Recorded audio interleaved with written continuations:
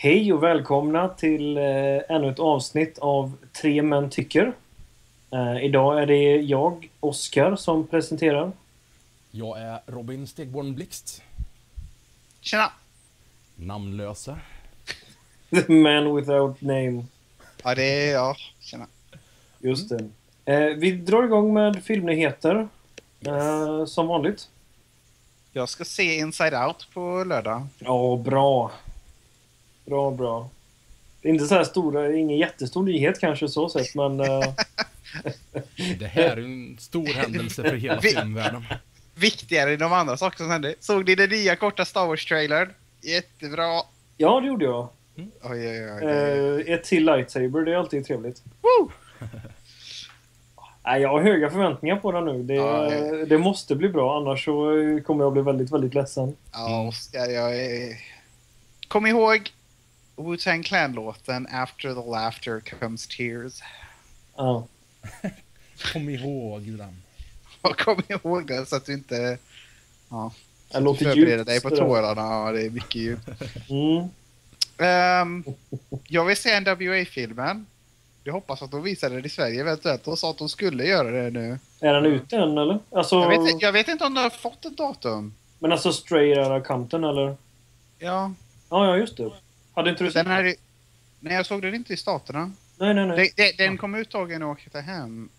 Uh, Fick för mig att du hade sett den också. aha, nu, nu står det, nu är det klart. Du, du, du. 11 september. 11 september! För övrigt är det ju, vad är det, 14 år sedan nu då eh, planen kraschade. Ja, Jesus. Varför? ja, Det känns konstigt att jag... Ja, vad bra, men då ska vi se den. Ja visst, den är väl eh, Jaha. klart. Mm. Ja, det är sannerligen biofilm. Mm. Ehm, jag... Åh, det hände en rolig grej. Uh, igår, i förrgår, när jag skulle hem till min bästa kompis. Mm. Så hans treårige son, nej, han- ja, ettårige son som faktiskt är född den 1 september, 11 september. Ja. För tredje gången i rad, så, och fort han ser mig när jag kommer in i lägenheten så börjar han gråta jättemycket. Så, ja, det är Ja. bra. Med så- rätta så det- måste man säga. ja, det, det känns inte helt orättfärdigt, gör det ju inte. Brukar alltid ha samma reaktion också, men jag är artig nog att hålla tillbaka det. Ja. Just Ja, det är bra. Mycket restraint där från din sida. Ja.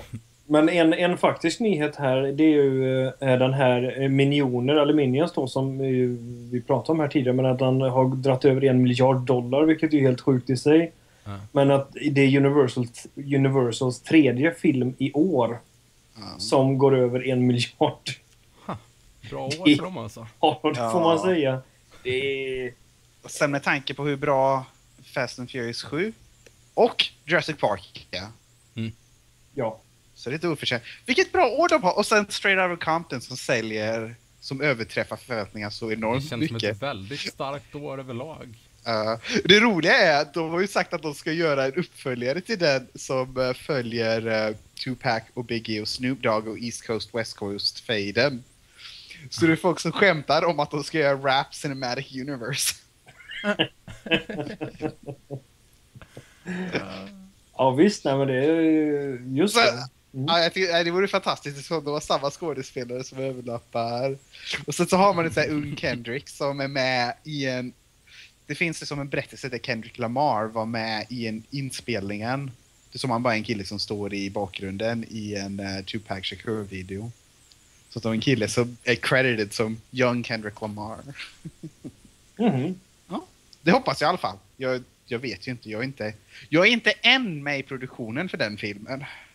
Okej. Men eh, det lär ju ändras snart. När, alla folk, när folk på Universal hör mina idéer. Några Mm. trailers som vi vill diskutera? Jag har inte så mycket att säga faktiskt eh, just på trailersidan den här veckan. Filmen eh, ble, eh, nej, The Lobster tycker jag ser bra ut. Just det. Med, och uh, True Detective Season 2 är nog det sämsta som någonsin visats på TV. Det allra sämsta. Ja, okej. Men du såg det, Oscar? Nej, jag har inte ens orkat se första avsnittet. Jaha, jag tror... Okej. Nej, Sen tyvärr. jag man Jag, så här har Jag, känner, jag Detective känner på mig ena en, sidan och simpor och grodfötter på andra. Det, det visade sig att the, the true victim was Vince Vaughn's career. just det, men den har väl inte varit så eh, liksom på G eh, överlag, känns det som. Nej. Okej. The true victim was Vince Vaughn's hopes of artistic integrity. Mm. Ja, snarare det. Liksom hans, eh, hans hopp om en eh, seriös drama, liksom eh, inom drama. Så här, eh. Jag har ju inte sett de tidiga rollerna han hade, men tydligen så hade han några som tidiga seriösa roller. Ja, okej. Mm. Men eh, ja, jag är ju inte särskilt förtjust i Adam Sandler, Owen Wilson komedi-dängorna han har varit med i. Vänta, vad... Ja, ja, Jag tyckte faktiskt att Starsky Hutch var ganska bra, måste jag säga. Mm, jag gillar den. inte sett. Ja, det är bra. Och eh, vad tycker vi om... eh, vänta. Ska vi prata om veckans film istället? Nu? Det kan vi göra. Det gör vi. Eh, vi har ju sett eh, eh, Terminator. Terminator Genesis. Ja. Eh, som ju är den femte. Eh, skulle inte se den första. ja, vi har sett, jag har sett den femte Okej. i alla fall. Man fick Okej. gärna se den första. Ja, Jag har, jag har sett den första, ja gött. kan vi säga. Men inte den här veckan. Jag såg den för, länge, för Mm. ett halvår sedan. Ja, men det är bra. Mm. Eh, men i alla fall, som ju kom då här i början, eller kom här i somras egentligen, i början på sommaren. Ja. Eh, som är den femte Terminator-filmen. Eh, och eh, den tredje filmen som inte eh, sköts av eh, James Cameron. James Cameron. Catherine. Bigelows man. Mhm. Ex-man. Kan du... Så Det är bra att referera till honom. ja, exakt. Man Eh, ska göra en konstnärlig hierarki där liksom. just det. Det ska Eh, man men, ju alltid. ja. det är så man ska bedöma alla relationer. eh, men, eh, och i rollerna då har vi Arnold som vanligt som eh, T800. Ja. Eh, Jason Clark eh, som ju eh, är eh, en av Samuels älsklingar naturligtvis. Ja, ja, det är han det. Ja, det är han! På grund av en film. Mhm. Han är så Eh, bra i den filmen. I Zero Dark Thirty. Eh, som spelar John Connor. Ska vi prata om Zero Dark Thirty istället? En annan gång kanske. Alla andra gånger. Olyckligtvis. Vi, vi pratar alltid om Zero Dark Thirty. Det är, vi, vi kan ändra på det här så att det blir en Zero Dark Thirty fancast. ja, just det. Det är lika bra nästan. Bevara mig. Ja, bjuda in Catherine Bigelow. det hade varit kul. Ja, jag hoppas att hon vill komma. Nej, jag vet inte om hon faktiskt... Nej, jag vet inte. Jag tror jag gillar henne mer utan att träffa henne. Ja. Sen har vi eh, Emilia Clarke som Sarah Connor. Hon är ju mest känd som eh, eh, Khaleesi eh, i It is Game of Thrones. Mm. Eh, sen som Kyle Reese så har vi då Jai Courtney som ju... Eh, jag vet inte. Han eh, är Ganska inte så... ny. Han är ganska ny. Han har varit med i Divergent, Insurgent och Ja. A Good Day to Die Hard. Han slog väl Eh. igenom som en roll i Spartacus, tror jag. Ja, det kan nog stämma. Och sen så kommer han vara med i den här Suicide Squad. Åh, just. eh, Varför finns det inga bra unga manliga som skådespelare? Captain Boomerang. Det låter Eh, riktigt, riktigt ballt. ja, det låter bra. Eh, och sen så i, i en mindre roll, men J.K. Simmons är med. Mm. Som är eh, irländskt fyllo som heter O'Brien, så han är en vandr van- vandrande stereotyp. Men det är härligt tycker jag. Eh, han, är, han är fin som vanligt i alla fall. Han är ju i alla fall bättre än sin Whiplash-roll. Mm, det är bara att konstatera. Ja, verkligen. Det är tydligt. Men den här filmen, den är ju... Berättelsen är ju gan- ganska rörig. Mm. Berättelsen är Terminator fanfiction. Ja, det är lite så. Men det, det börjar med att vi, vi är liksom i framtiden. Maskinerna har tagit över. Det, det är första kanske 20-30 minuterna av filmen. Liksom, de, eh, motståndsrörelsen ska stänga ner. Eh, de, misslyck- de lyckas men det, det är liksom deras attack slutar med att eh, Skynet lyckas skicka tillbaka då den unge Arnold som är T101.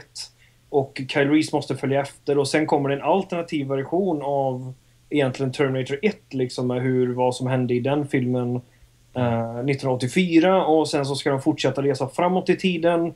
Och de tänker vi reser till 97 men då har Kyle Reese fått en, eh, en uppenbarelse om att nej, vi ska till eh, 2017 istället, 20 år senare i tiden. Och så åker de dit istället eh, för att förgöra göra Skynet som numera heter Genesis som är ett datorprogram som... Som heter Facebook. som, Nej, Google menar jag. Som är någon form av blandning mellan Google och Facebook kan vi nog, eh, kan vi nog säga. Eh, och eh, i princip så, så ska de försöka stoppa då skapelsen av Genesis. Mm. Eh, så det är väl... eh, Ganska i- bra sammanfattat. Ja, det, det är ganska är rörigt. Men eh, ja, det går att hänga med. Yes. Okej. Mm. Men alltså du glömde väl delen av handlingen där Arnold är Kaliforniens guvernör? Det var det han gjorde de där Ja. 20 åren emellan där. Ja. Ja, just det. Det hade varit väldigt roligt om det där hade slängt in en liten sån. Hade faktiskt, varför gjorde de inte det? Det hade varit lysande. Ja, jag tycker det. Det hade, ja, det hade varit... Alltså, ännu en gång. Ännu en film så hade det varit bättre om jag skrivit manus. Mm. Okej. Terminator Genesis. Ja, jag bollar över till Robin där. Eh, Vad tyckte du? Alltså jag tycker faktiskt om den här röran som är Terminator Genesis. Ja. Den liksom har en sån här ehm, lite, lite skön hållning helt enkelt till sin egen franchise och det känns liksom som eh, det här tidsresandet och så här fram och tillbaka. Det är lite på den där, det får vara så magiskt som det är för liksom plotten. Mm. Känns inte som det överförklaras eller överbetonas Alls. på något sätt utan Eller alls förklaras. Ja, nej precis. Och det gör ju att det faktiskt blir dumt, men det funkar liksom på det där dumma sättet som man tillåter i filmer. Särskilt just i tidsresande som, som filmer. Jag, ja. jag, Mm. tyck, jag tycker att alla gånger Arnold var med i den här filmen Ja. så var det en rolig film. Mm. Annars så var det en dålig film som jag hade roligt när jag såg. Ja. Det är väl ändå helt okej? Mm. Jag, ty- alltså, jag tycker att de borde bara gått hela vägen och gjort det hela till så här screwball comedy där eh, det är som Arnold, det är som en mördarrobot uppfostrar en liten tjej. ja, jag vet inte alltså. Ja, jag tycker alltså det, alltså det Det här hade är ju bara... en rolig film, men det skulle inte varit vad den här filmen borde vara. Nej, jag tycker alltså det den här filmen var var ju bara Terminator fanfiction. Och, och, och, och det som inte är särskilt kreativt, det som de tar och gör om bok, det som alla coola scener ifrån Terminator 1 och 2 Mm. Och sen vet jag inte om det finns några coola scener från Terminator 3 som de har att göra om. Jag har inte sett jag den. Men, läste något om att de hade delar därifrån också. men det är som, de, alltså det är inte bara att de gör referenser till de scenerna, de bara gör om de scenerna liksom. Och jag tycker att det på något sätt, om man ska bedöma det seriöst, så är det här bara en jättedum och den värsta sortens det som derivitet. Det den gör med de scenerna är inte ens särskilt intressant. Det som är kul är alla grejerna, det som med Arnold och Da- och Daenerys. Alltså, jag, jag Eh. tycker du drar det lite långt, även om vi håller med liksom grunden. Tycker inte det är riktigt så plagiaserat liksom. Men, alltså jag känner mer så att jag gillar hur det är så mycket throwbacks, även i scenerna liksom. Men de hade nog kunnat vara lite kreativare och göra lite mer egna grejer. Ja, men jag, jag tycker, alltså jag tycker, alltså det är några roliga skämt som de gör med det.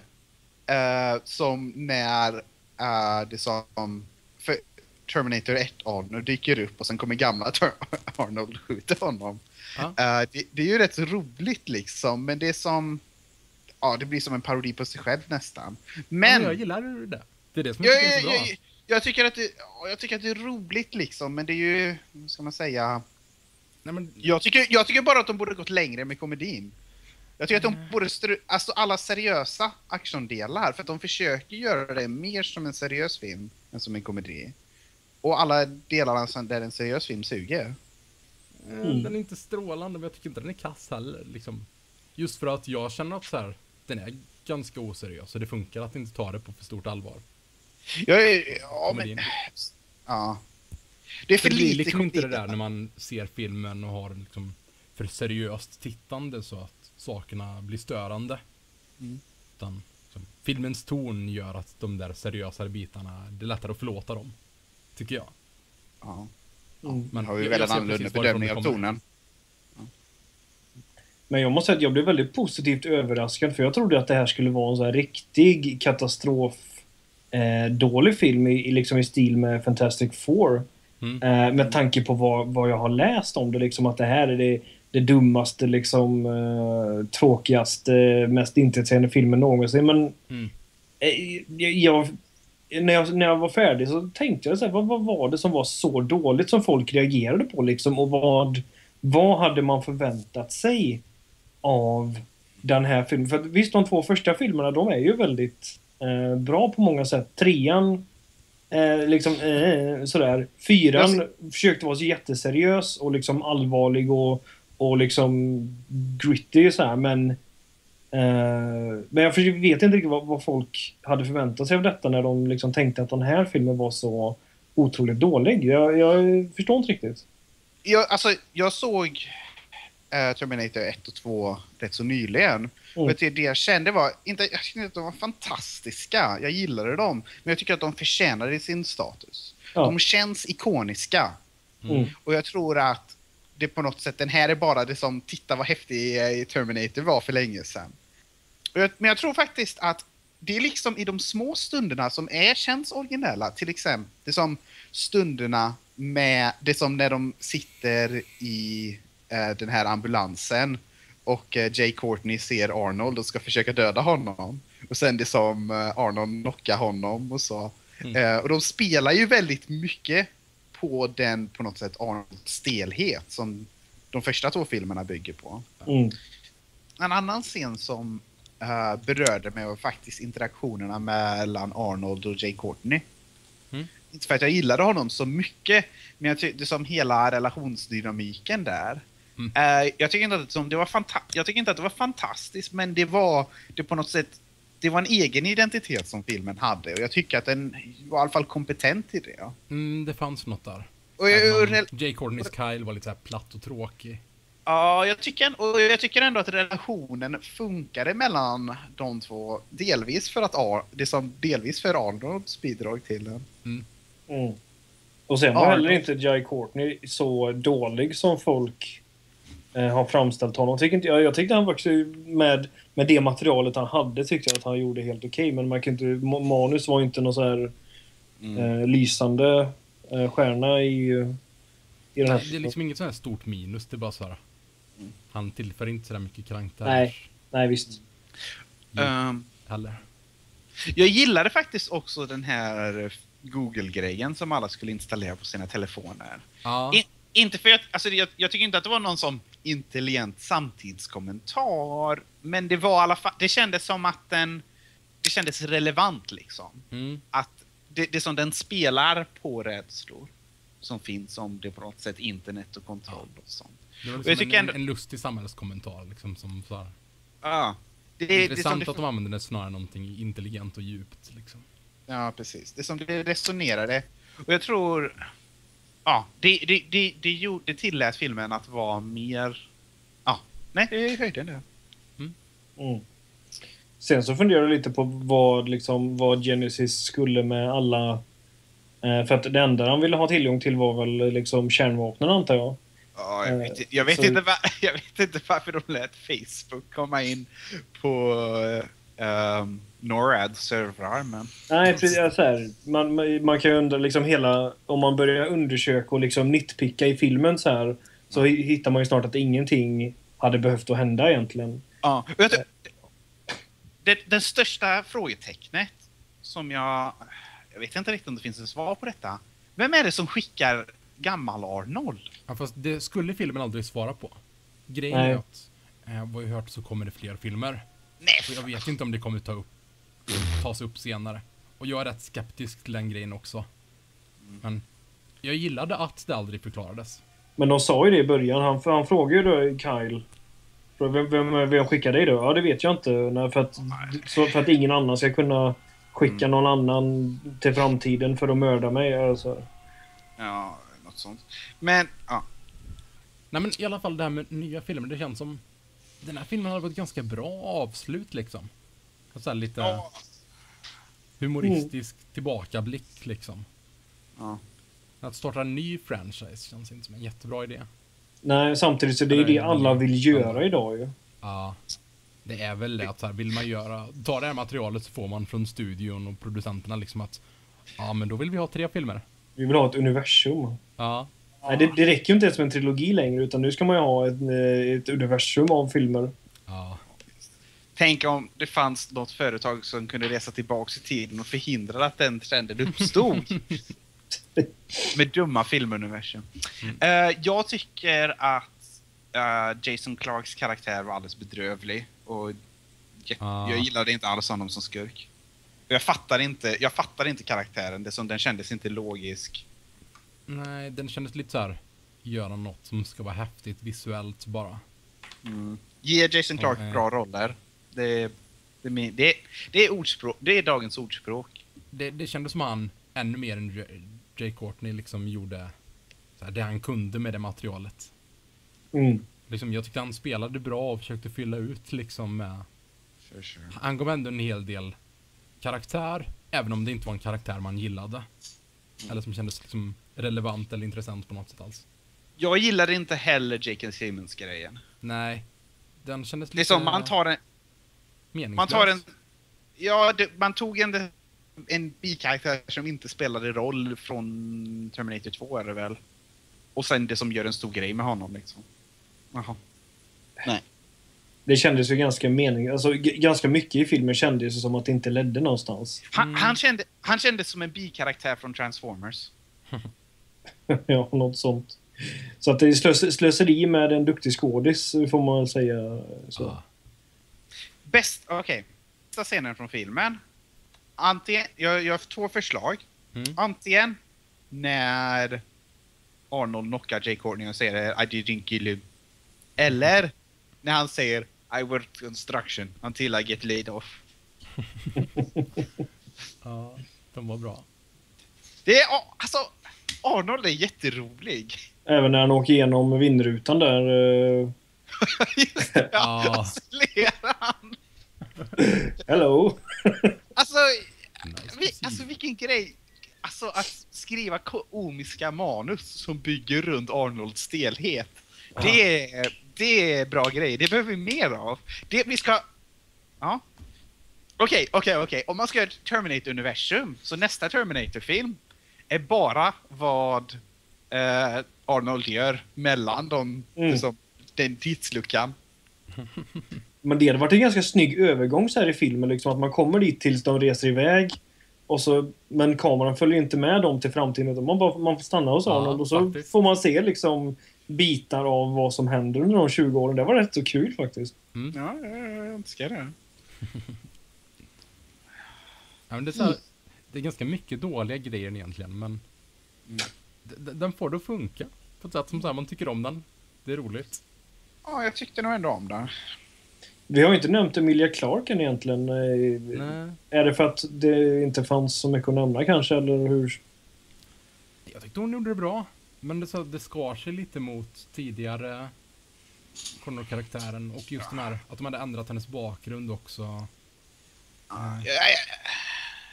Jag, tycker inte att hon är fantastisk, men liksom även där, det som Arnold lyfter det. Ja, Mm. Så, ehm, jag menar, hon är väl okej. Hon är inte lika bra som den här här på Game of Thrones. både Men- hennes Sarah Connor och som Jay Courtneys Kyle kändes lite så här tomma, platta. Mm. Liksom inte fyllt ut så mycket där utan Arnold har hela, Varför hela finns, det inga, varför finns det inga bra unga manliga skådespelare? Det finns det. Förutom Michael Jordan. Precis. Även... ehm, vad heter han nu då? Han trummisen i Whiplash. Ja, Miles Teller är okej. Han han är bra i den filmen. Ja, jag har inte sett honom i något annat. Jag har sett honom i Fantastic Four. Ja. Eh, det var ingen vidare. Han hade, han eh, var inte, jag läste det som början på någon det som celebrity profile på honom i Vanity Fair. Som jag blev jätteirriterad på honom och artikeln och så slutade jag läsa den. Ja. Jag hoppas att han gör bra filmer, mer bra filmer i framtiden. ja. Ska vi Jag ger den- betyg? Jag ger den här tre av fyra Terminators. Den får Okej. ett good av mig. Mm, jag, jag ger den ett decent. Jag, ja, jag tycker ändå om den, men... Uh, ah, mer än ett decent blir det inte. Ja, decent översätts min. Tre och fyra till decent, ja det var... Ja. Nej! Tre av fem! Var det? Jaha, okej. Ja, det blev finns väl-. Det finns väl fem Terminator-filmer? Ja, det gör det ju. Decent. Än så länge. decent. Mm. Nej, än så länge det... Ja. Snart kommer det... Snart... Okej, okej, okej. Terminator Medieval Times. Man skickar tillbaks en Terminator i tiden för att få reformationen att, att förhindra reformationen att ske. Man åker till 1515 istället för... Ja, Tjugo det procent. där Ja. flippa ur så totalt. jag ska sno det. Jag ska sno manuset och ändra. Terminator T-1000 Kids Luther. Eller eh, eventuellt att eh, Luther skulle... Att det är Luther som är en Terminator då kanske. ja, nej! Ah, man måste skicka tillbaks, så de skickar tillbaks ehm, Jack Reese. Nej, vad heter han? Kyle. Reese. Uh? Kyle Reese. Mm. Man skickar tillbaks honom i tiden för att stoppa Terminator Luther. Så när, när han står och, och, och spikar upp eh, sina eh, plakat på kyrkporten där. Nail this! Och så spelar Arnold Luther. Mm. Arnold kan väl prata tyska? Det borde han väl kunna? Han är, ja, han är det ju från låter som man Österrike. pratar tyska oavsett. Vad... I alla fall i början av sin karriär. Ja. Ja, ja, ja. Just det. Okej, Okej. vi rör oss vidare. Ja till topp tre-listan för den här veckan som är topp tre monster. Och ja, det som gäller här är liksom... Eh, man får ta lite av vilken anledning man vill, men det ska liksom vara ett ganska specifikt monster. Liksom, inte en ras eller liksom något sånt där. Man kan ta en, en specifik varelse ur en monsterras liksom, men man skulle inte kunna ta ett eh, robot-alien-rasen i Avengers som val här. Chitari, Så, menar du? mm, precis. Du får ta bort det från alla dina tre toppplatser. Men kan man ta en av de här små intetsägande monstren då kanske? Ja, Ja, jag Samuel. vill, jag vill ta den tredje som blir dödad av eh, Captain America på scen X. Just Den är bra. Det, det, jag, Han jag sticker gillar ut lite. Nej, men topp tre monster helt enkelt. Vill eh, Samuel börja med sitt riktiga val? Eh, Jag måste faktiskt slå upp en text för min tredje plats så jag drar min andra plats istället. Ja. Nej förresten, jag ändrar min andra plats till min tredje plats och tvärtom. Ehm, Något under tiden? Så här, folk har reagerat lite mot, tycker jag är konstigt att eh, så här, peka ut hur dum den är i tidsresande och så här liksom.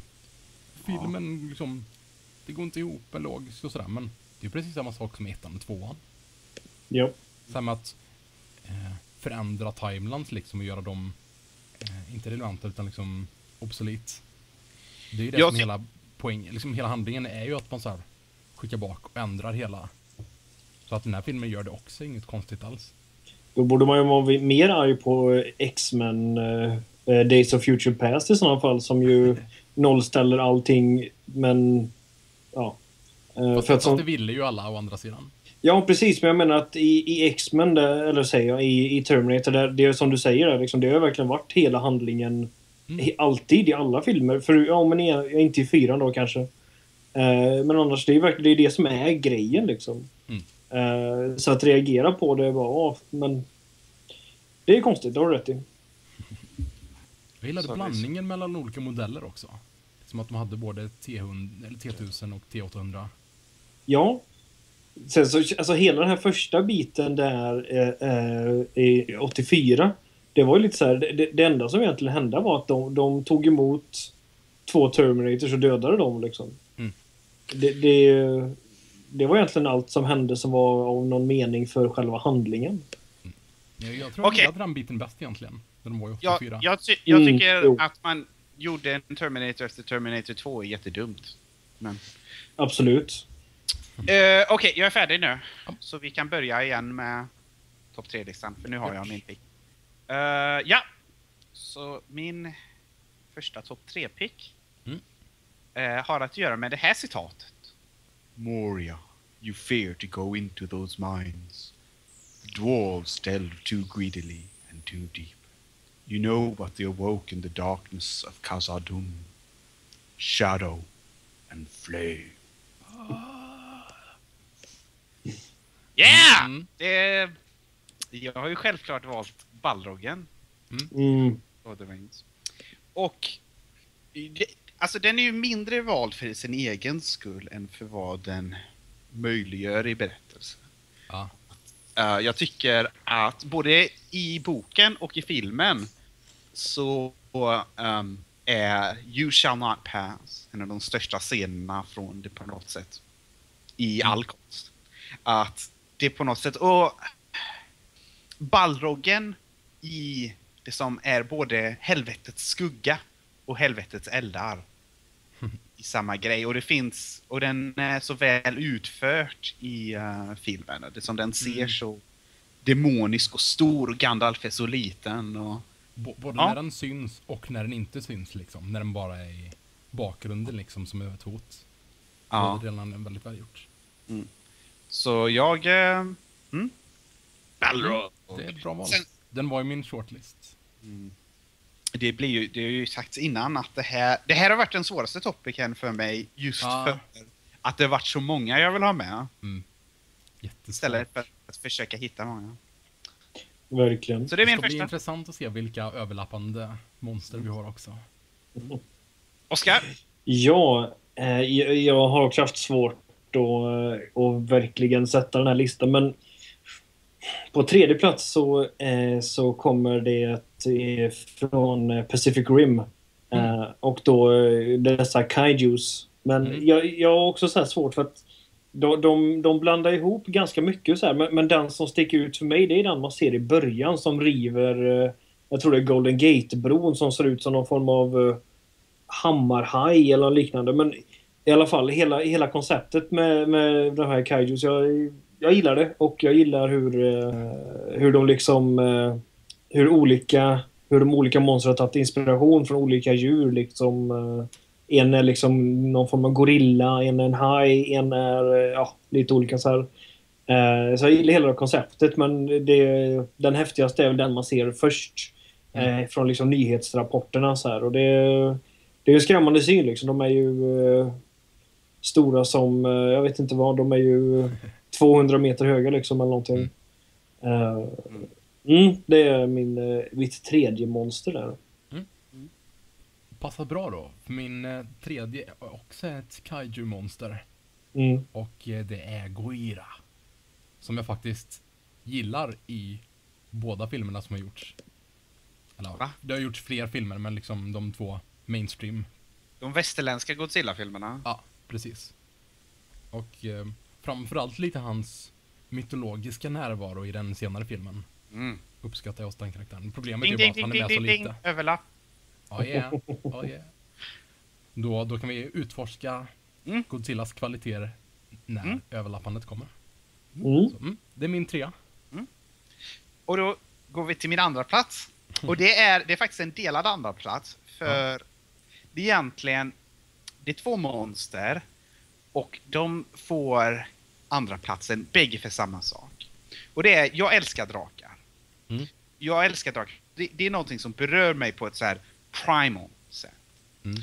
Och det är drakar, jag älskar dem för att de är så stora och så gamla och så mäktiga. Och man känner sig så väldigt liten mot dem. Och jag tror de två bästa drakarna som någonsin har gjorts på film, och de är neck and neck, de är så bra. Och den ena är en mycket bättre film än den andra. Mm. Är T-Rexen i första Jurassic Park. Ja. Och Godzilla i 2014 Godzilla. Eh, jag tycker det som sättet de låter, sättet Ja. filmen förmedlar deras tyngd.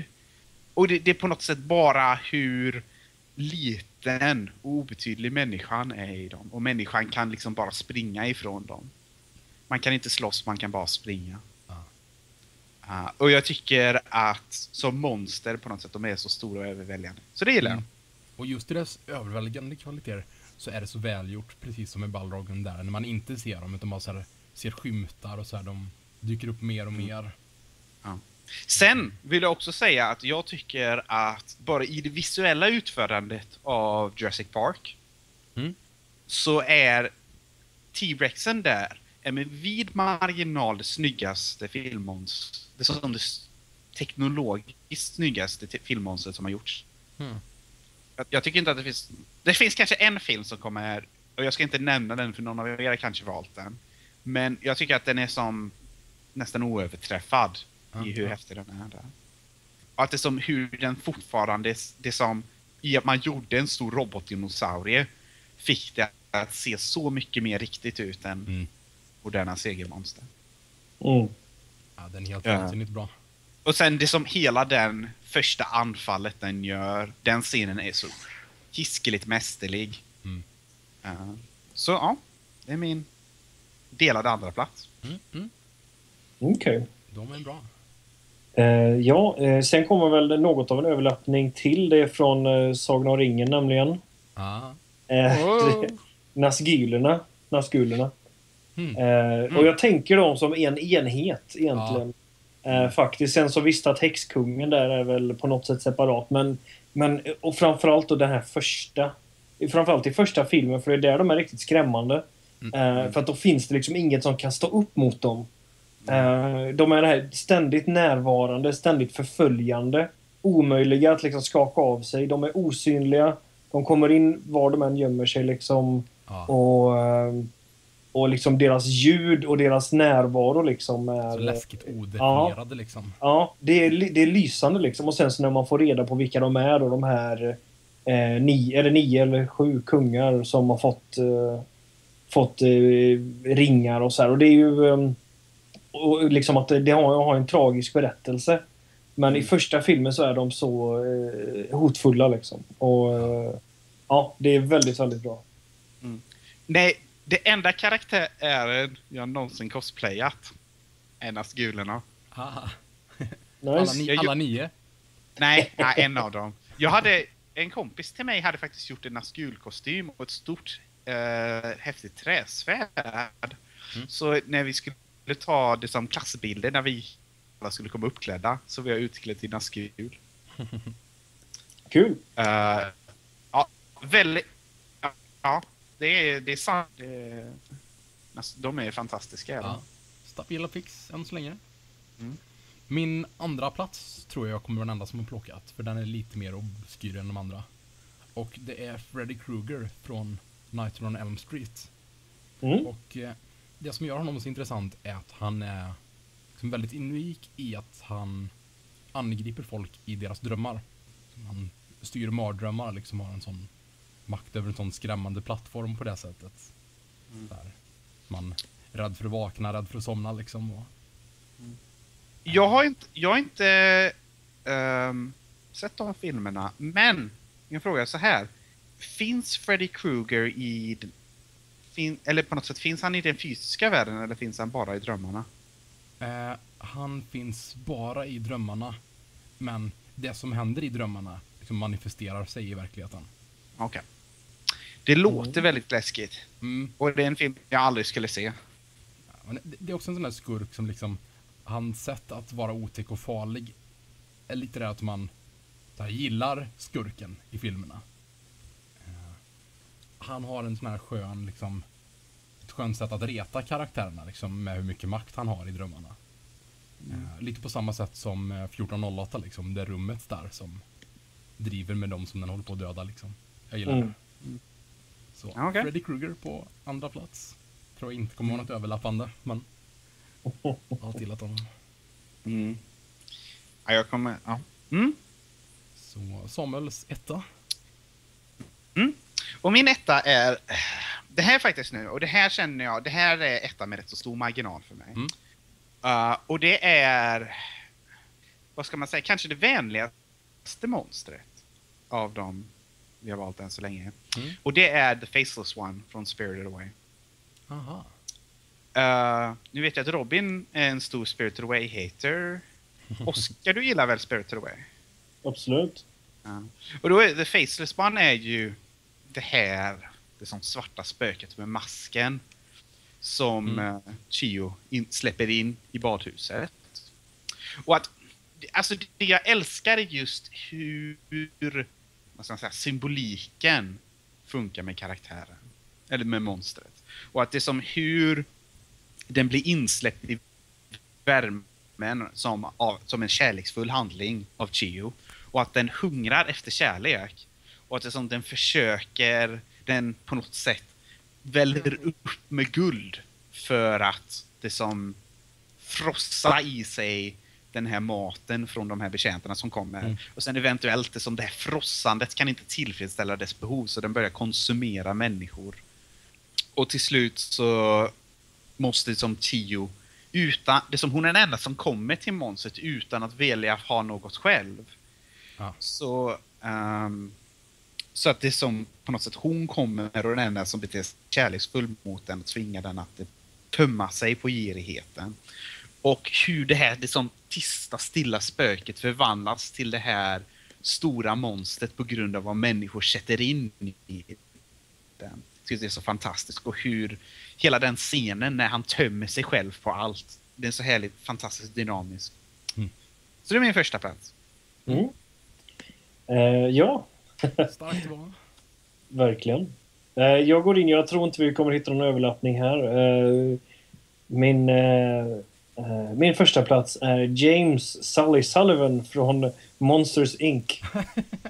Ja, Den blåa, den stora av dem. Ja, det är bra att du inte valde den gröna. Nej, alltså, de, är- de är ett bra team liksom, men om jag skulle vilja umgås med någon av dem skulle det ju vara Sully. Eh, Ja. eh, är du barnförälder eller? jag är väl det. Men, eh, men jag, jag har alltid gillat de filmerna liksom som spelas av, av John Goodman som är, han är ju fantastisk nästan Mm. vad han än gör, tycker jag. Ah, ja. Eh, Jag vet Var det- se Monuments Men för dig säger det. usch då. Han är med i Transformers 4 till exempel. ja, men Transformers 4, den enda bra Transformers-filmen, är han med. Exakt. Nej, men det, det, är ju, det är ju en fantastisk film. Det är en av Pixars bästa fortfarande tycker jag. Och, eh, eh, ja, det är inget läskigt monster men eh, hela det här med... Ja, Men det hur-. Nej men precis, men hur filmen bygger upp det här med att de är ju läskiga för barnen liksom. Men att det, det hela är en stor konspiration liksom för att få monstren att, att utnyttja den här billiga energin då som de får från barn och så här. Men det är Ja, det, det är väldigt enkelt att gilla eh, Sally. Så att, Mm. eh, ja. Så är det. Alright. Min etta är faktiskt T800. Terminator Arnold. Ja, det är bra. Ja, det är definitivt mm, rätt. Mm. Och jag hade faktiskt tänkt den här tanken innan jag sett Genesis. Även om den liksom fortsatte höja lite den här känslan. För det kommer ju framförallt från första filmen. Där den har liksom väldigt unik hotfullhet liksom. Men Eh, Robin, får jag bara. Får jag gå in och avbryta där? Ja. I första filmen är det ju en T101. Är det så den heter där? Ja. Mm. T800 är ju först i... Åh, Lore fail! Lore fail! Oh no. Det är ju faktiskt inte samma. Okej. Den eh, strunt samma. modellen helt enkelt. Show me what you got. Hmm. Terminator! Det undrar är... Okej. Är det så att de så här inbördes ä- ändrat den? För jag tänker att så här i Genesis så är det att han är liksom samma modell som den de skickar tillbaka precis där i början. Mm, men man ser faktiskt i Genesis, jag tänkte på det, det är en sån bra detalj, men man- man får ju se lite genom ögonen på den här unga Arnold. Och som när han analyserar gamle Arnold så ser han att det står T800 liksom. Ja. Men när de skickar ut honom till teleporten där i början så var initiating Terminator Model 101. Hmm. Jag tänkte mer på det som så här serienummer men... Jag, Okej, det, är jag nog pratat, det är nog pratat om lore nu. Ja, precis. Jag, Det- det, jag helt tycker det är helt, enkelt. det är helt okej Robin. Mm, mm. Ja. Det är Arnold från första filmen framförallt helt enkelt. Och Ja, precis. Det, det höjs ju upp av vad de gör med honom i de andra filmerna. Mm. Mm. Framförallt andra och den här filmen. Ehm, och jag tror att det, det som det bästa, och jag föredrar ju Terminator 2 över Terminator 1, men det bästa med Terminator 1 är ju känslan av oundviklighet. Ja, Den här roboten som aldrig kommer stanna. ja precis. De här sista scenerna där liksom när han har gått över och blivit robotform liksom och... Mm. Mm. Och känner, ja. Och Det, det, det jag tänkte säga förut också att den här grejen när hans öga, liksom den här lampan har slocknat och sen tänds igen. Den är det- väldigt... ah, jag vet inte, jag, det är en dum jump scare. Ja, jag, jag ser det inte som en jumpscare utan liksom så här ytterligare en sån där relentless grej liksom. Att det är ostoppbara. Ja, jag jumpade i alla fall lite. Ja. Jag, jag, jag, det, jag- och jag gillar liksom att hur i Genesis så är, spelar det ju på de här interneträdslorna. Men på Mm. 80-talet så är det ju det på något sätt, det är ju dess robothet som betonas där. Ja. Och att det är som mekaniseringen, att det är som fram, den här framtiden kommer för dig och ska ta dig. Mm. Att det, som, det finns ju en subtext där. Um, det är ju som väldigt väl utfört. Det är en ganska abstrakt och liksom inte så specifik skräck som det de handlar om utan liksom bara den här Mm. framtiden och maskiner i allmänhet liksom. Men Nej. jag gillar det. Mm. Ja, det är bra val. Mm, mycket. Och, Nå- Något som är viktigt i de senare filmerna är ju att så här, det känns ju hela tiden som han fortfarande är det här monstret liksom. Bara att de har styrt honom i en annan riktning. mm. Liksom, den här känslan som kommer från första filmen av vad han är. Mm. Hans grundutförande liksom. Den är fortfarande närvarande i resten av filmerna. Mm. Så, mm. Eh, jag tycker att eh, jag har en del runners-up. Ja, jag har några honorable mentions också. Jag har en runner-up från en film som jag knappt har sett, men jag tycker förtjänar. Mm. Och det är Xenomorpherna. Ja. Eller exe- Mm. särskilt Xenomorphen från ehm, Alien. Mm. Som jag knappt har sett. Men hur... Och det är ju en väldigt känd design och den är väldigt, ska man säga, Mm. vaginal i sin design liksom. Att, Ja. det, att det är som det är väldigt mörkt och runt och... Ja. Ja.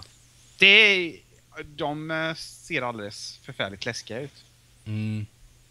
Och också just den här liksom uh, obehagliga aspekten av hur de inkräktar på de liksom, människokropparna som de har. Ja. Med facehuggers. Mm, precis. Gör dem inte mindre creepy.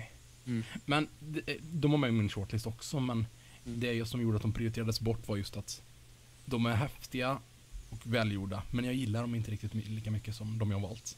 Okej, Nej, jag, jag valde inte med dem för att... Jag hade nog valt med dem om jag hade vågat se Alien. Mm. De känns, alltså jag gillar dem inte lika mycket Aliens. Det blir ju lite för mycket cannon fodder av dem där, men Ja. det är fortfarande bra monster där. Drottning-alienen där är dock liksom, Jag minns faktiskt inte den. huvud högre. Bildligt och bokstavligt. Mm. Mina runner-ups, en av dem är så här som jag inte kunde välja för att den är så ohyggligt obehaglig. Det är monstret från It. Som alltså själv är It. Just det.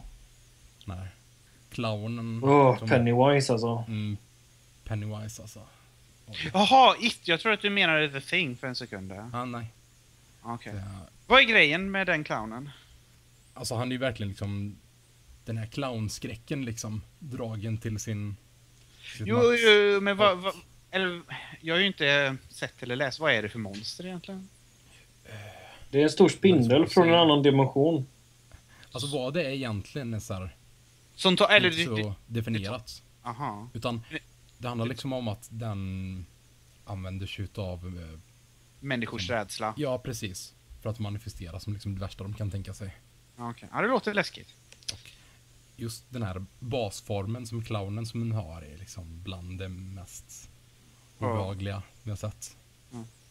Eh, Mm. Även Axman från Resident Evil, om det är någon av er som känner till det. Men ni hade inte sett filmserien? Du, jag har bara sett de två första tror jag. Ja. Jag tror Jag det är så- tredje som den dyker upp. Ja, Jag såg- och det Jag var... kan jag länka såg- ett klipp sen.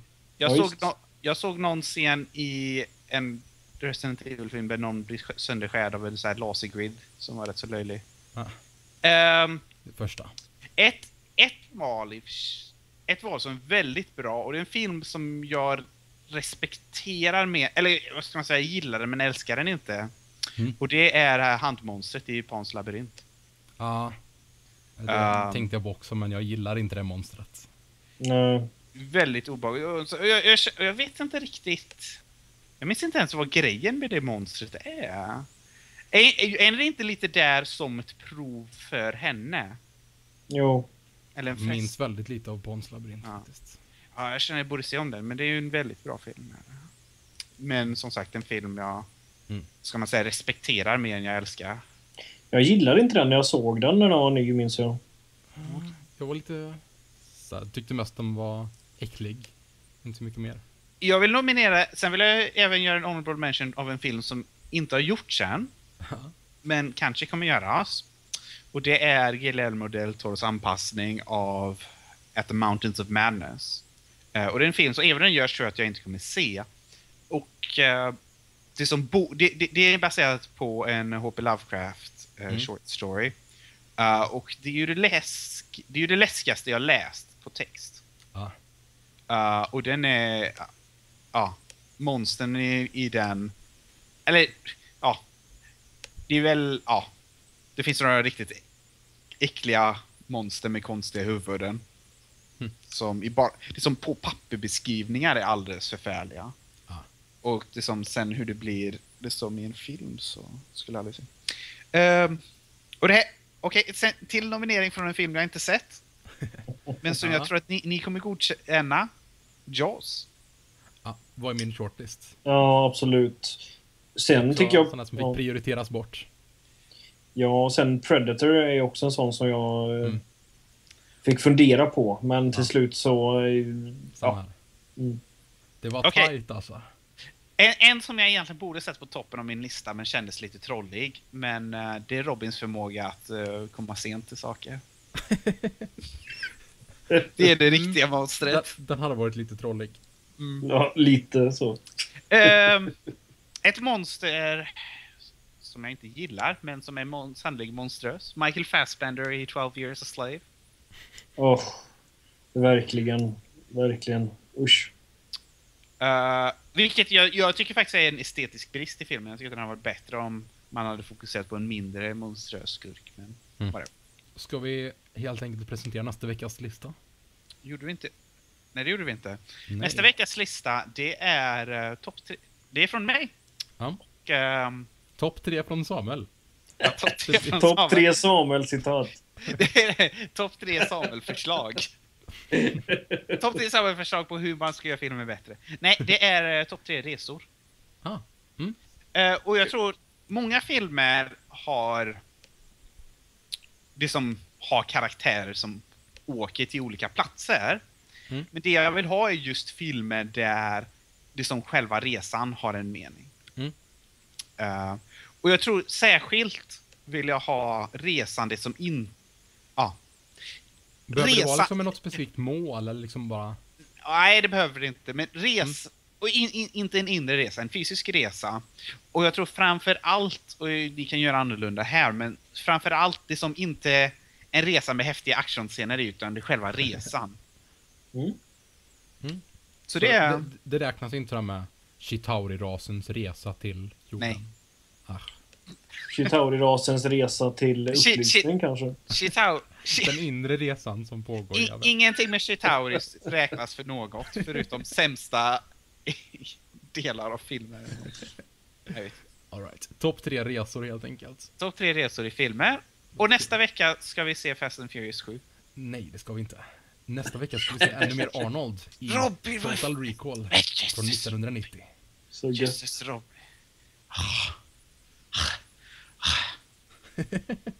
I'm gonna go monster on your ass. Ja, jag hör det. Okej, Robin, Robin, jag vet det bästa monstret. Ja. Monster Energy Drinks. Ja, Stolta e-sportsponsorer. vi hade fått eh, kicka ut den som valde den i sin lista, icke-ironiskt. Ja. Och Jag vet inte, finns de med i några filmer? Ja, man kan säkert hitta alltså BMX Extreme Racing Movie, där de har... Det var ju en skön sån här Nike eh, eh, product placement i, i Mm. Terminator också. Var det det? Ja. Han verkligen sätter ner foten där så här, och man ser den här vita eh, bocken, så här, loggan, så knyter han skorna så här. Men jag gillade just hur löjligt uppenbart det kändes med den här speciella knytningen liksom när han drog runt. Ja. Jaha, jag minns faktiskt inte eller ens... Jag minns inte ens den scenen. Det är var när han precis blir eh, jagad utav eh, T1000. Och han är på det här varuhuset liksom och smyger in i ett omklädningsrum och tar på sig kläder. kanske, jag kanske inte var så jätteuppmärksam när jag såg filmen. Kanske inte. Men det nästa vecka fall. Resor och Total Recall. Bra att Robin väljer re- relevanta filmer. Det tycker jag. Alright, vi ses nästa vecka.